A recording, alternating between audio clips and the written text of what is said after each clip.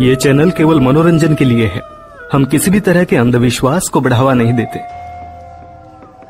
Subscribe करें और देखें फ्राइडे, एक दिल दहला देने वाली हॉरर स्टोरी। बिना घबराए, बेल आइकॉन प्रेस करना ना भूलें।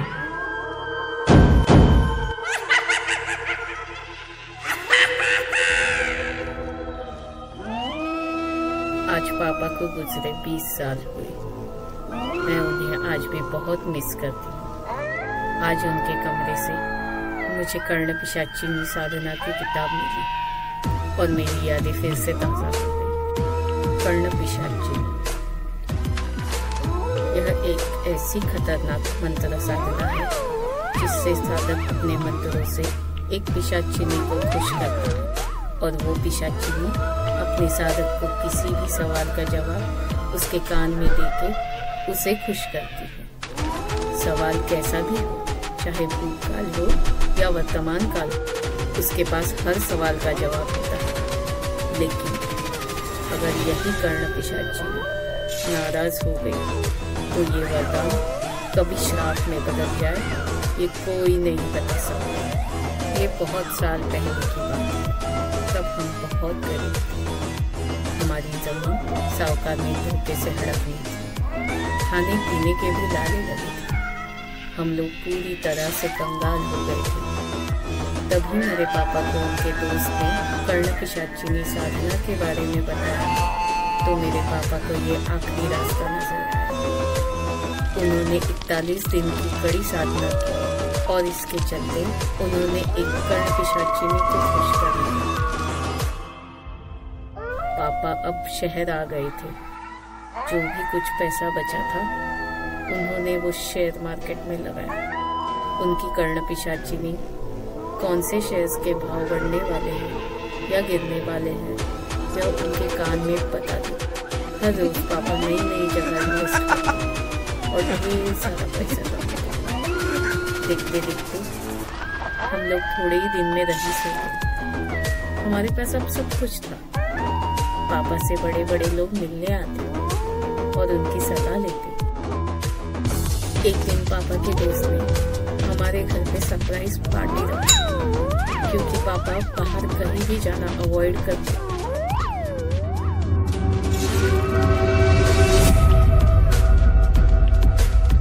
उसी रात से पापा अजीब सा बर्ताव करने लगे। दिन रात वो अपने आप को कमरे में बंद कर लेते और चिल्लाते रहते। शायद किसी की बड़बड़ से तंग आए मुझे या मम्मी, दोनों को अंदर आना मना पूरा दिन शराब के नशे में धूप, अपने कान में रुई डालते और अपना सर कस के बाँध लेते थे। किसी भी डॉक्टर को बीमारी का पता नहीं चल रहा था। एक दिन तंग आकर मेरी मम्मी ने एक तांत्रिक को बुलाया। उसने कहा कि पापा की कर्ण पिशाचिनी उनसे नाराज़ हो गई। शायद पापा ने ऐसा कुछ किया था जिससे वो नाराज़ हो गई। तांत्रिक ने कहा कर्ण पिशाचिनी को हर रोज शराब और मांसाहारी खाना देना पड़ता वो अपने साधक को किसी दूसरी औरत के साथ बर्दाश्त नहीं कर सकती। और तो और अपनी पत्नी बेटी माँ या बहन के साथ भी नहीं। पापा रोज शराब पीकर चिल्लाते रहते उन्होंने शेयर मार्केट में ट्रेडिंग करना भी बंद किया था। पापा ने खाना पीना छोड़ दिया। उनकी तबीयत खराब होने लगी थी, क्योंकि उनकी कर्ण पिशाची ने नाराज़ होने के कारण पूरा दिन पापा के कान में वो चिल्लाती रहती।